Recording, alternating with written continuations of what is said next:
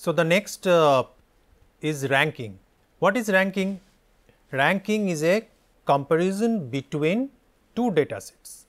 So, ranking or scoring it means that you place something in order and this particular you know technique is often used to compare between different households.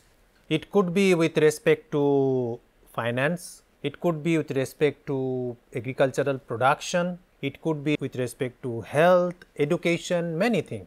So, how actually you do it, the procedures. So, first thing that we need to do is look for key informants or other some you know senior knowledgeable villagers who are ready to take participation in the PRA process. So, those are the people you need to identify.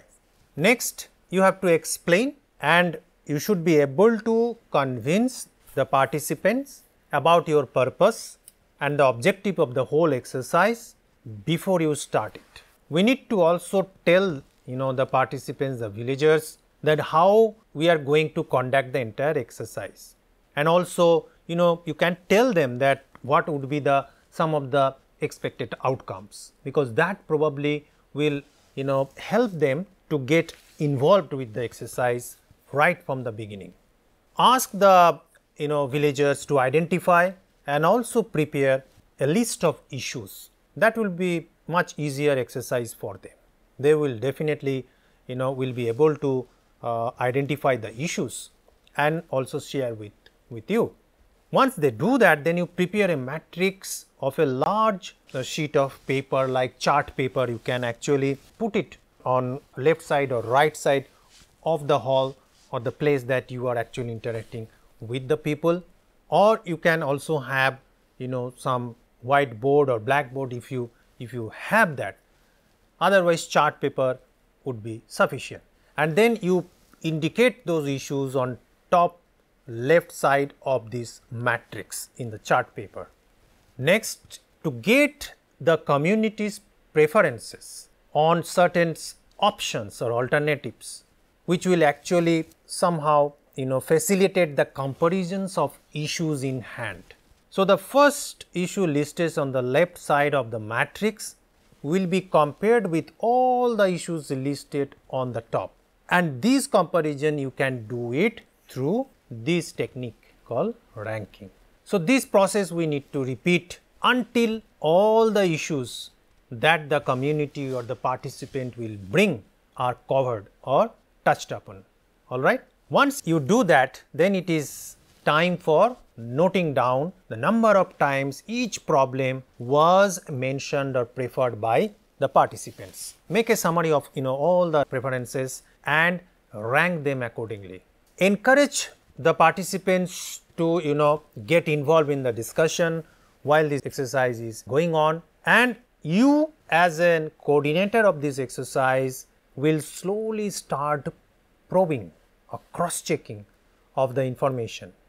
So, you need to ask the one information coming from one participants you can ask them in a very smart way with the other one.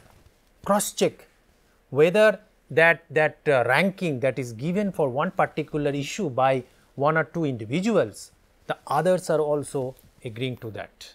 So, this verification is done right at that moment then and there. Give enough time to the you know villagers to discuss, do not rush or rush this exercise. It has to be in a very relaxed uh, environment that is why if you recall that the first at the very beginning of this uh, PRA topic I mentioned that this is an exercise, very critical exercise for uh, resource management. An efficient resource management you know require a very good PRA exercise and a good PR exercise can only be possible when you give good amount of time, relaxed environment for the people to interact with you and interact among each other. At the end of this exercise, you should briefly discuss, analyze, summarize all the results together with the villagers. It should not be carried out you know inside a room or in a, in a inside a locked room away from villagers. No, the best way to do it is to do it with the villagers in front of them. So, what are the commonly used ranking methods that often you know for PR exercise we use? Number 1 preference ranking, second direct matrix ranking, pair wise ranking and wealth ranking. So, these are four commonly used ranking methods that we often use for PR exercise preference ranking, direct matrix ranking, pair wise ranking and wealth ranking. Now, I will discuss each one of these ranking methods one by one. First, preference ranking. From the name itself, you can easily understand that you will be actually allowing the participants to come out with their preference, preference among suppose two or more issues or options. So, ranking is determined largely by voting in case of preferential ranking largely. So, the interviewer actually will choose a set of problems or preferences which need to be prioritized, prioritized on the basis of ranking which we call preference ranking. Then the interviewer asks the interviewee to give his or her favored one in that set in order of priority.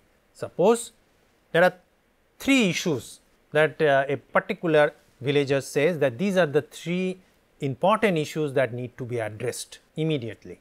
Among those three, now you will you know guide him to prioritize.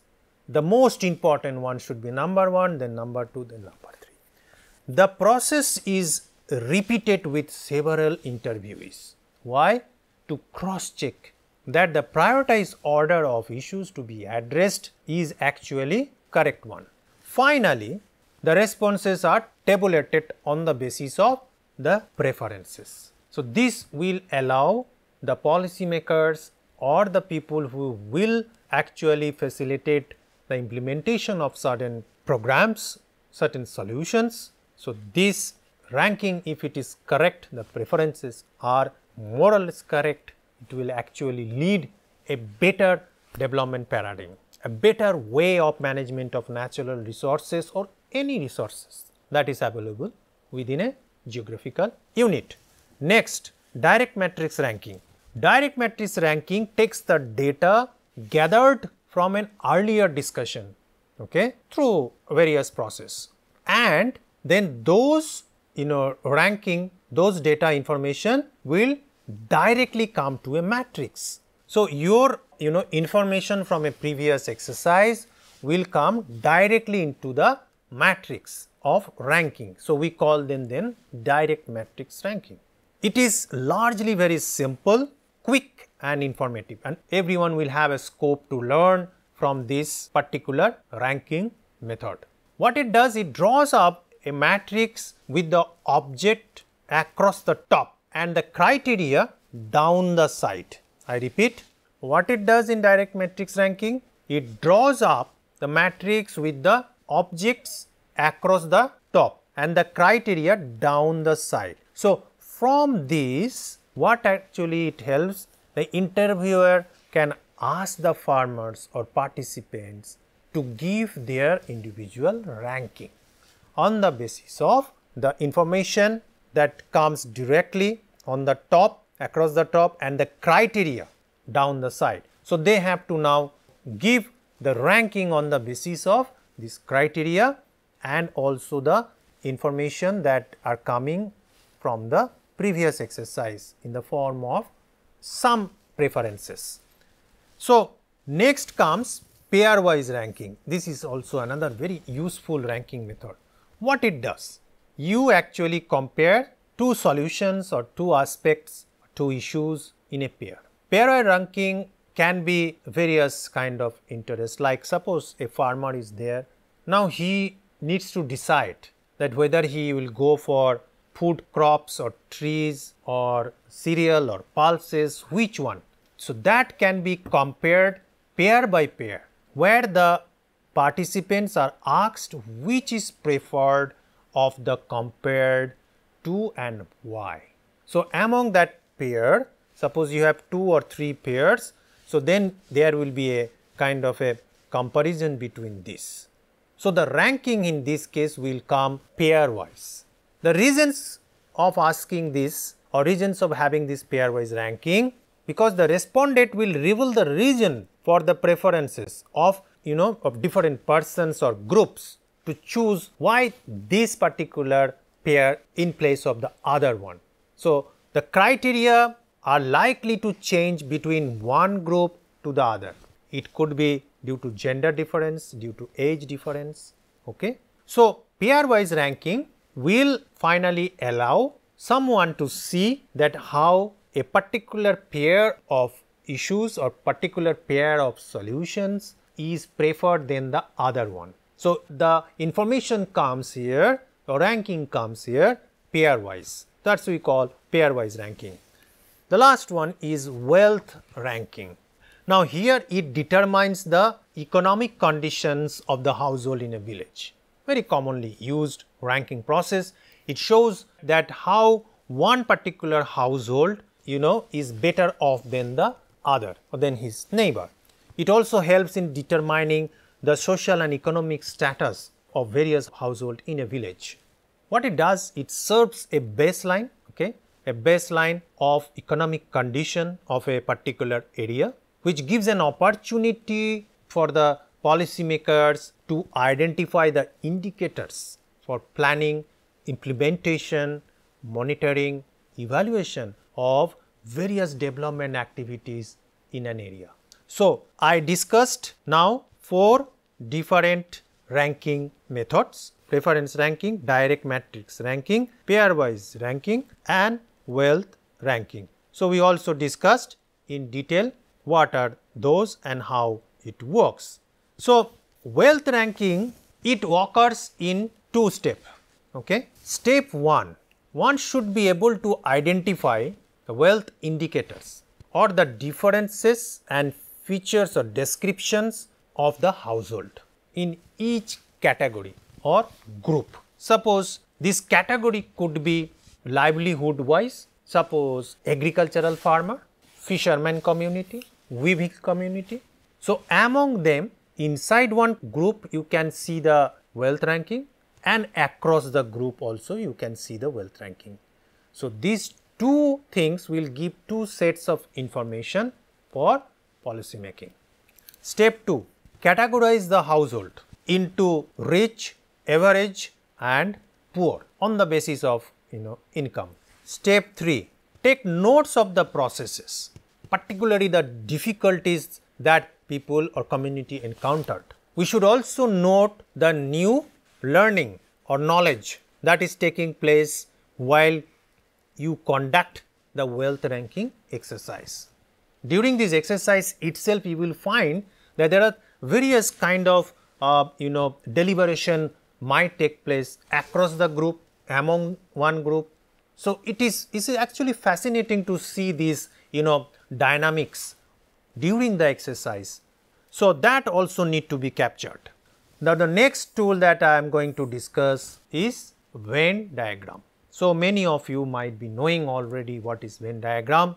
Venn diagram basically it shows institutions, organizations, group and important individuals found in a area, in a village or any community as well as the villagers view of their importance in the community.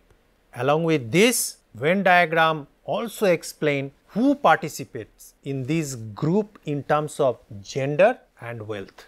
Okay? Now, objectives of Venn diagramming, what actually the purpose or objective of this Venn diagramming? It is to identify external and internal organization, groups, important persons who are active in that particular area or particular community where actually you have gone for carrying out PR exercise. It is to identify who participates in local organization or institution by gender and also by wealth. It also helps to find out that how the different organization and groups relate to each other in terms of contact, cooperation, flow of information and provision of services. So, I think Venn diagram is very very important when it comes to understand the social networking dynamics working between different groups. So, how actually Venn diagram you should actually you know carry out. So, what are the questions that you would be asking to your participants? First, which organization and institutions or groups are working in your community? They will be able to answer that easily. Second, which institutions or groups do you or means the villagers regard as the most important one? There will be many organizations, right? Which one according to them is most important and why? Third, which groups are addressing household food security and nutrient related issues? Who are actually working together? There will be four or five organizations suppose in an area. Certainly some will be working in isolation and some will be working as a group. That also required to be found find out because this also has an implications for some policy for the development uh, initiatives in a particular area. Are these groups which are meant for women or men only? So, that means are there any group who are dedicatedly for women and dedicatedly for men or there are all groups who are working uh, regardless of gender. That information is also important for carrying out some further exercise. Next tool is structured direct observation. I mentioned that at the you know earlier point that structured direct observation then and there you get the information from your participant. Sometimes what happens is that people idealize a situation that this is the best situation for us or for me and then tell the things which are more of a kind of a description how things should be then than how things actually are. So, they somehow visualize themselves more into that idealized situation than the actual situation. So, you as a coordinator of the peer exercise need to be aware of this kind of situation. Okay? So, naturally if they are already into imagining themselves into idealized situations and somehow ignoring the current reality, then the feedback that you will get from the people will be very different and naturally your PRA, PRA report also will be very different and it will be little far away from reality. So, other reasons for this difference is that while you talk with the people about their you know routine activities, a person or individual is only able to give information about some aspects of this activity. Suppose fishing, he will be able to give you only related to the fishing some information, but there could be some other implications associated with the fishing profession. So, it is your responsibility to guide them to provide those information as well. Usually as I said that rural people do not talk much about their routine activities. They largely feel that there is nothing you know fun in that like you know selection of seeds, preparation of seed mixtures, preparation of for that matter you know carrying fertilizers from one place to the other, preparation of land. So, for them they, they just considered it you know just like any normal activity but you know that these are critical activities come under the entire production system. So, what happens that is why people in the interview does not give a picture of the reality. Okay? So, they, they sometimes skips some of the activities thinking that those are nothing special to share with someone. So, it is your responsibility again to guide them towards that direction because you need to have the entire picture, you know that even a small activity according to them the small daily regular activity is also a very critical activity towards the larger goal. Direct observation allows also a cross check of findings which you get from the people. It can also be you know used to generate on the spot questions in direct interaction with the farmers and it helps them to explain things in a much better way and much in touch with the uh, reality and you know not in an imaginary situation. So, structured direct observation can be done using these following methods. you need to have some indicators, record, have a checklist, you use, use your you know senses and some measurement. These are the methods that often you need to use for direct structured observation. Next comes key informant interview means as I said at the beginning that you need to identify one or two depending upon the total size of people few key informant. So, depending on the nature and the scope of an issue or inquiry, you need to identify appropriate groups from where you will identify these key informant. That is one of the uh, you know key to the success of your PR exercise.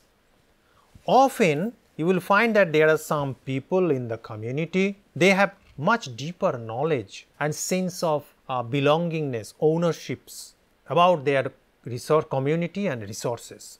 So, those are the people are potential client for your key informant. For example, the barbers. A barber is well aware of the family size of a household because of his profession and and all of us we know that we love to you know go visit barber and when he cuts the hair there are a lot of discussions takes place. So, huge amount of information exchange takes place right. So, that actually what happened is also could be a source of information about households and then animal also uh, structure, village structure, village dynamics and different other issues. So, I am not telling that you always identify a barber as your key informant, but I am just giving you an, an example that you have to choose very smartly among the lot that who would be your key informant. Such people for these spatial knowledge domains are selected as key informant.